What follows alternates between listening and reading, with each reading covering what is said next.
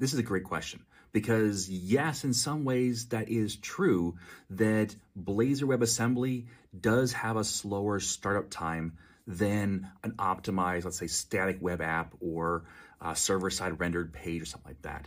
But that doesn't mean that Blazor WebAssembly is a bad choice. It just means it's not the right choice for every situation.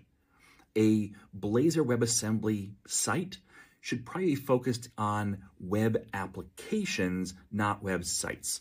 So a difference is a website is where you, you show off what you do and have a sales page, those kind of things. Whereas a web application is something where you get the job done, something that, that does some type of work. And that's the difference. Typically, those sites don't need to worry about ranking in the Google page ranking because that's not the point of them.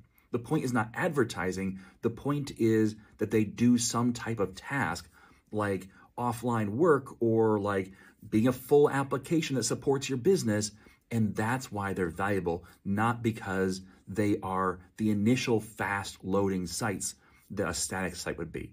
That doesn't mean that Blazor Assembly can't be fast. It can be, just maybe not as fast as other site types could be.